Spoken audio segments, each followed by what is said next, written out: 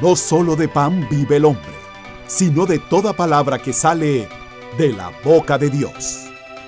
Reflexión del Evangelio de hoy con el Padre Teófilo Rodríguez.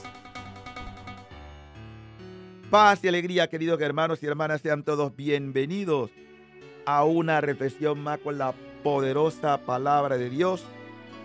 Hoy es domingo 27 de febrero, octavo domingo del tiempo ordinario. Palabra que vamos a compartir con ustedes se toma del Evangelio de San Lucas, capítulo 6 del 39 al 45. En aquel tiempo, Jesús propuso a sus discípulos este ejemplo. ¿Puede acaso un ciego guiar a otro ciego? ¿No caerán los dos en un hoyo? El discípulo no es superior a su maestro, pero cuando termine su aprendizaje, será como su maestro. ¿Por qué ves la paja en el ojo de tu hermano y no ves la viga que llevas en el tuyo?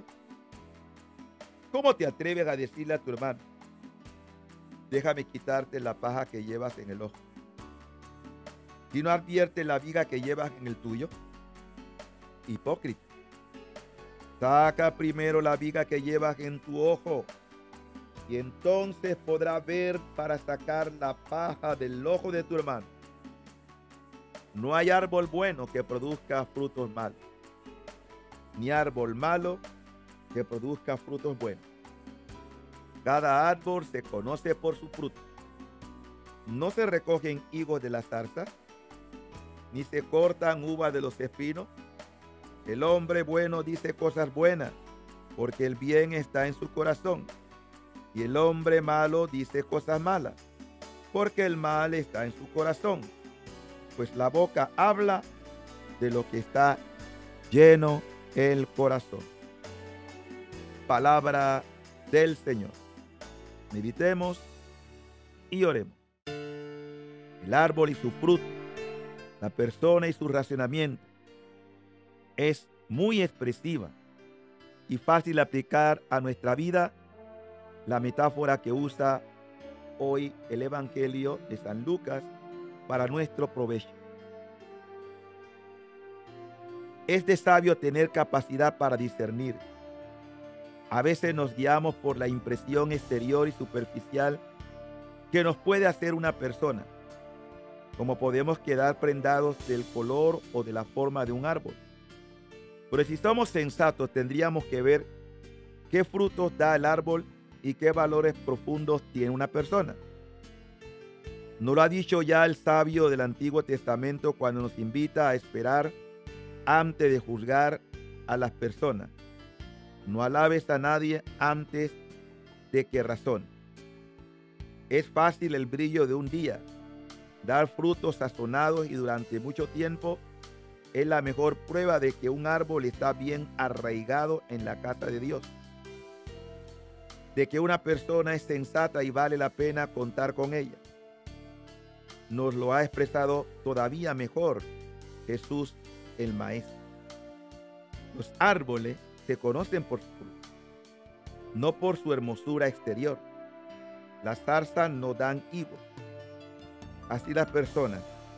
El que es bueno de la bondad que atesora en su corazón, saca el bien. Y el que es malo de la maldad, saca el mal. Jesús valora lo interior, no lo exterior. El fondo del corazón, no lo que una persona dice, ni lo que aparenta, ni siquiera lo que hace, sino cómo tiene el corazón lo que rebosa del corazón lo habla la boca. Cuando nuestras palabras son amargas, es que está resumando amargura nuestro corazón. Cuando las palabras son amables, es que el corazón está lleno de bondad. Y eso es lo que aparece hacia afuera.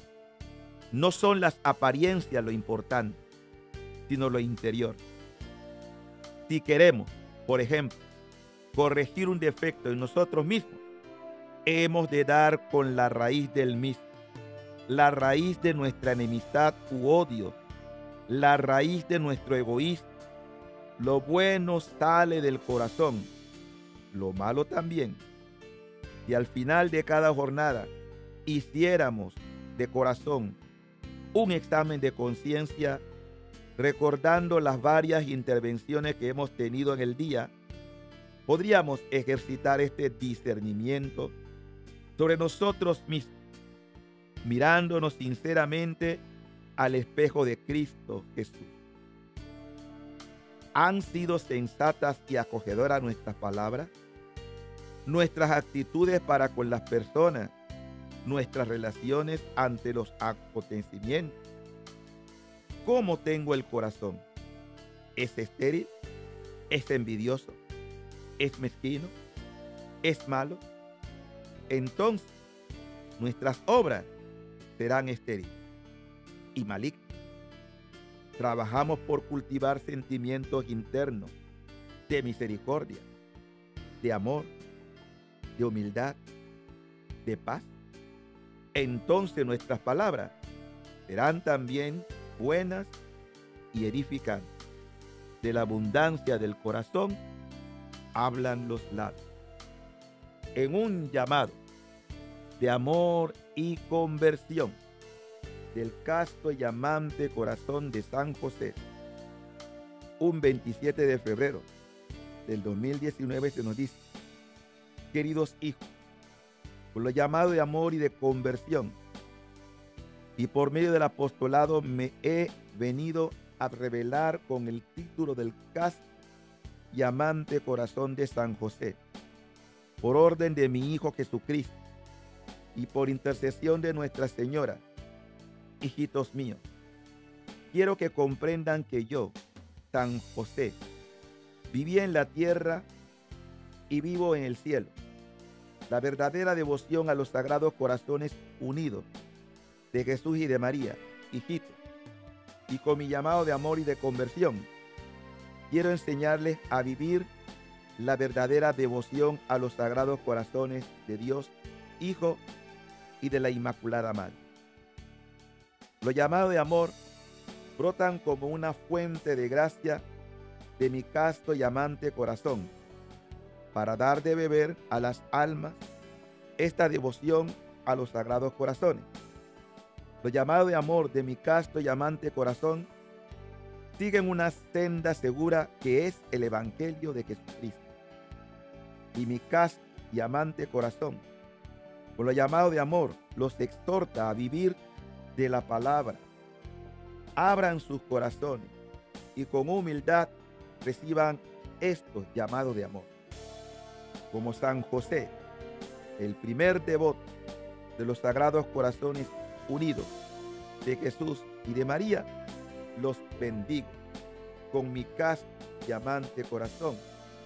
En el nombre del Padre, del Hijo y del Espíritu Santo. Amén. Amén.